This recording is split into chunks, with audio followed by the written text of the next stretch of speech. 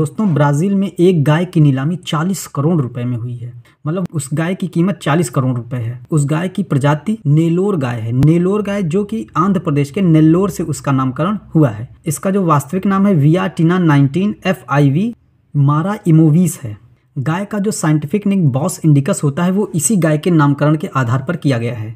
इसकी एक कुबड़ होता है और ये चमकीली सफ़ेद रंग की होती है। ये गर्म तापमान को भी झेल सकती है, इसका इम्यून सिस्टम बहुत अच्छा होता है मतलब इसको बीमारियाँ कम होती हैं। इसके दूध में मिनरल्स भी काफ़ी ज़्यादा पाए जाते हैं और अन्य गायों की अपेक्षा इसमें अधिक क्वालिटीज़ होती हैं, इसके दूध में मिनरल्स भी काफ़ी अधिक मात्रा में पाए जाते हैं। चैनल को लाइक शेयर सब्सक्राइब ज़रूर कीजिए।